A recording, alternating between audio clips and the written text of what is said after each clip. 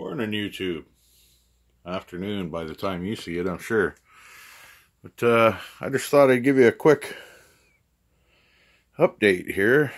What's been going on with my tractor. Lots of orange paint. Only a couple pieces left. One being the dash.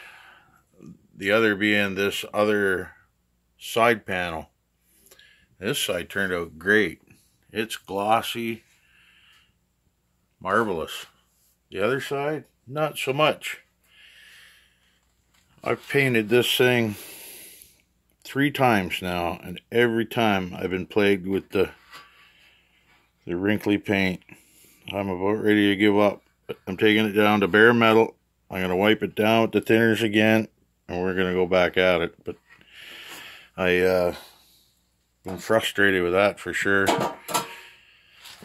The other thing I did get accomplished was uh, my new throttle pedal. I'm pretty stoked about that one.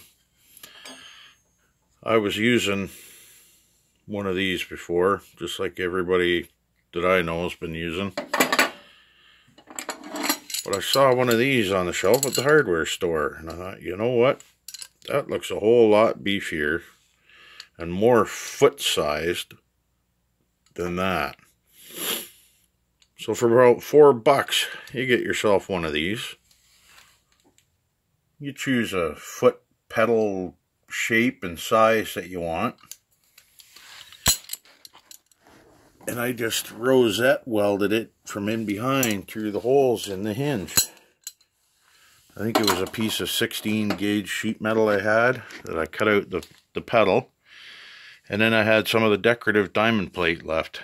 So I cut a cover for the metal and just riveted it on with some aluminum rivets. So hopefully it doesn't go to crap too soon. But yeah, other than that, I took a bolt, drilled a hole through it for the cable to pass through.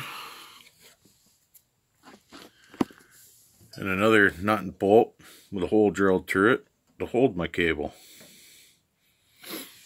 The rest is just bicycle parts.